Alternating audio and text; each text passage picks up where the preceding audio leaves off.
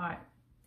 Um, hi guys, it's Sunday afternoon. Um, we've had a great day. It's been a beautiful day here. And we're going to have hamburgers and homemade french fries tonight for dinner. Um, I have my potatoes here. And um, as a matter of fact, I'm even trying to think what day it is of quarantine, but I think it's like 700, lol. But um, uh, anyway, we're going to make french fries. So I like to start with a flat bottom. And then I sort of cut that off. And um, put my glasses on so I can see a little bit better. And then I just sort of start cutting these really thin. I have a really nice sharp knife here, so that helps. And you may have a french fry cutter. I used to have some, but I've torn them up because I've used them so much. Because I would say french fries are my all-time favorite food ever. And then I'm going to stack them like this. And then do thin strips. So I can do about, those are about three slices at a time. And then I'm just going to continue doing the rest of the potatoes. And then I'm going to soak them in water to um, take out a little bit of the starch. So, um, and then we'll get on with the rest of the meal. Okay, guys, I've cut up the um, potatoes. These are white potatoes. And um, sliced them pretty thin. Um, so I'm going to, what I'm going to do now is I'm going to wash them, get some of the starch off, and then I'm going to let them soak in water until I'm ready to fry them. So, um, and then you'll see, uh, we're also going to grill the, like I said, hamburgers, and we'll have slaw, and I'll show you all that in just a second. Okay, I would, I'd like to have um, some slaw tonight with our hamburgers. and I looked in my refrigerator and I had this leftover, I don't know if you remember from the other night I did fish tacos.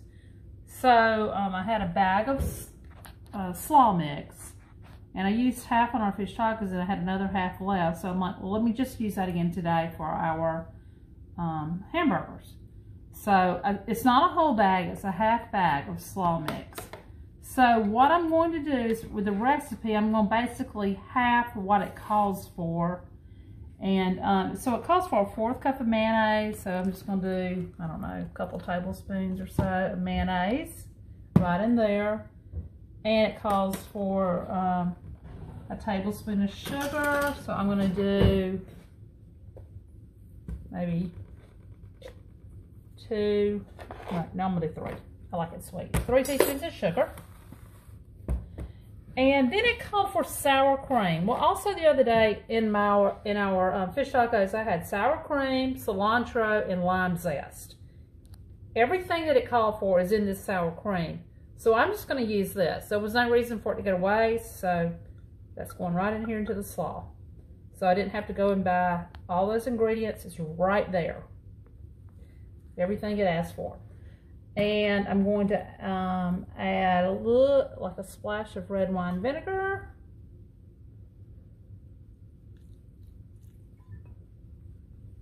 And salt.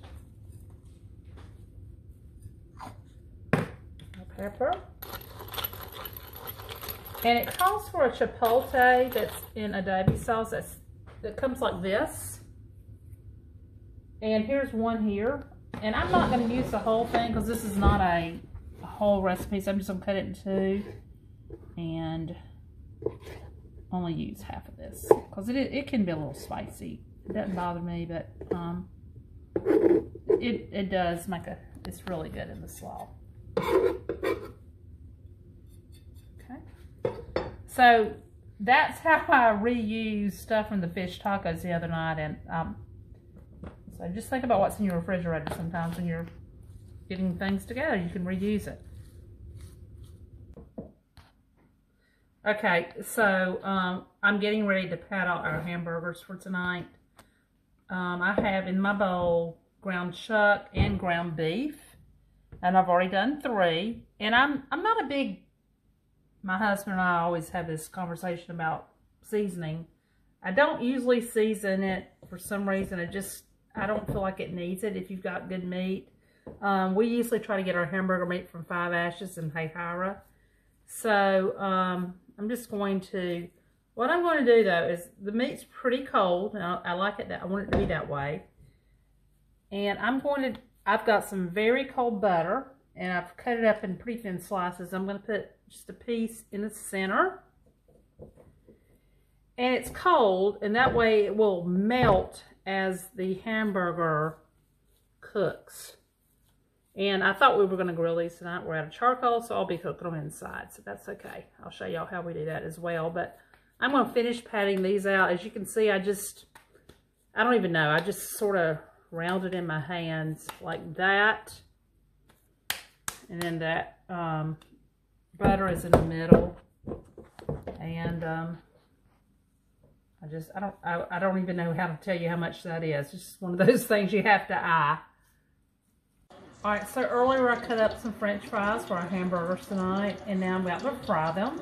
Cut them up pretty thin. I've got the grease hot. I've already put a few in there just to check it, and I'm gonna add these in there.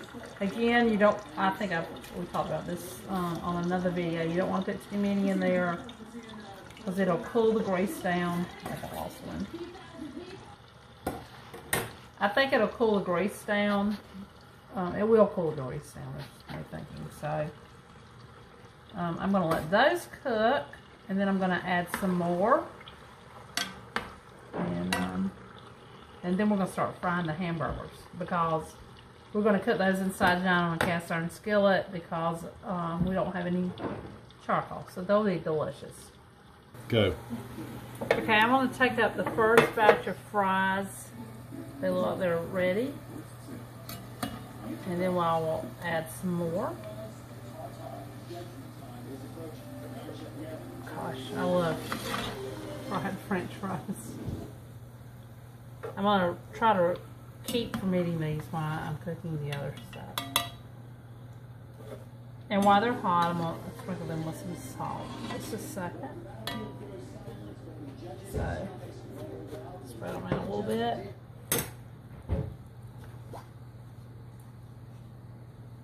And salt. And then I'm going to add some more fries in here. I'm going to do it a little slowly.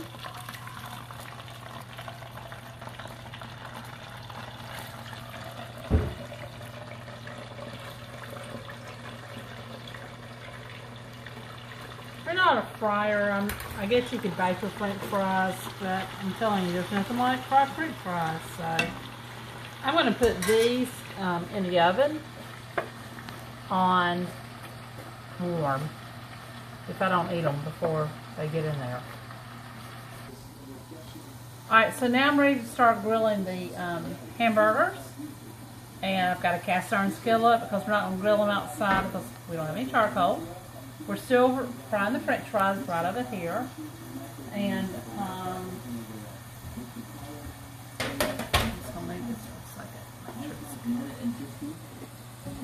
You can see that smoke. I left my hamburgers in the refrigerator. Remember I put the butter in the middle? So it will slowly melt as these cook. And these are gonna need delicious. Actually, my family would rather prefer that I cook them inside than on the grill. But I just don't like, um, sort of makes a mess in the kitchen. I've got one more and I'll put it on later. So that butter is in there, and as it melts, it's going to just moisturize those burgers more so. And um, I'll show you how they look when I turn them in just a second. Alright, so I'm ready to um, turn the um, burgers that are in the cast iron skillet. Look at that. That's exactly how you want to look. Look at they have a beautiful crust. Oh, those are gorgeous.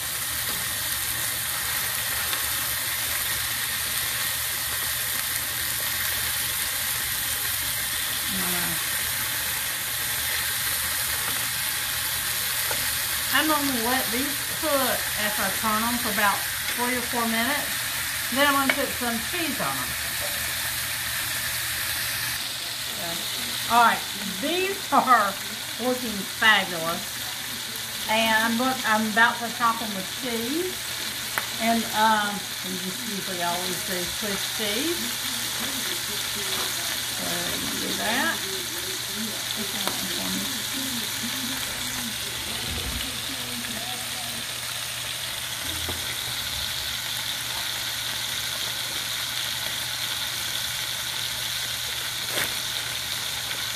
They sound and smelled so delicious.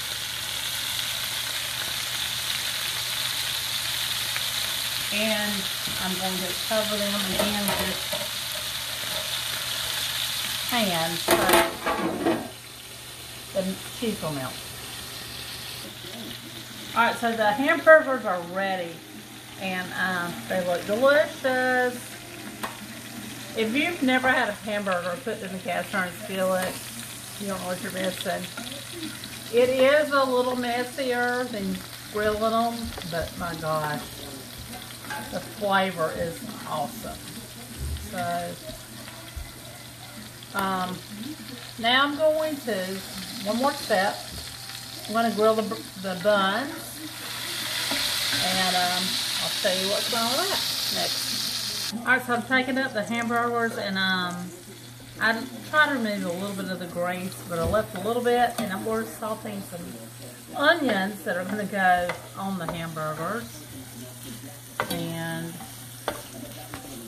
they're just picking up all that flavoring from the meat. It's going to be so delicious. And Grossberger's taking up the last bit of the french fries. And we will be able to eat. I'm going to toast the buns, and then we'll be able to eat. Alright, so the onions have sauteed in um, where the hamburgers were cooking and they look fabulous. I'm going to take these up and then I'm going to um, butter the buns and cook them and we'll be ready to eat.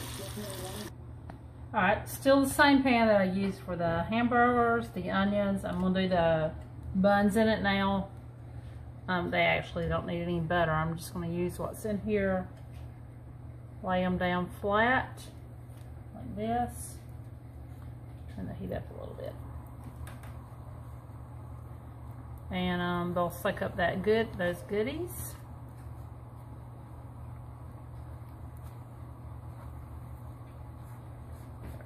And then I'll flip them just a second. All right, so we grilled the buns. I've mayonnaise them. And now I'm gonna add these lovely burgers. Oh, these look so divine. Um, i add some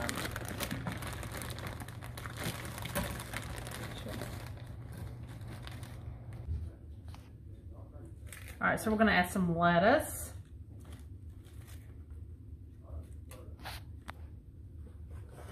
Beautiful red tomatoes that we got from the farmer's market. Those onions we sauteed in all those good drippings. That looks so good. Um, We all like ketchup in our house, so I have ketchup.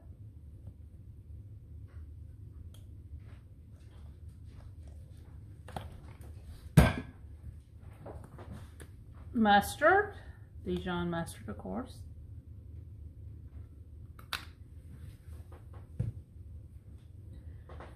And I think that's all the toppings for the burger.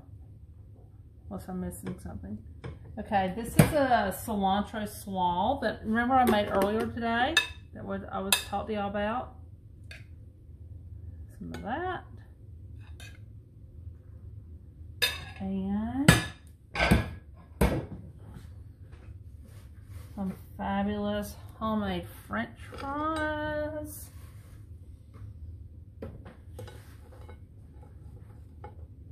And here is our sunny night hamburger and french fries.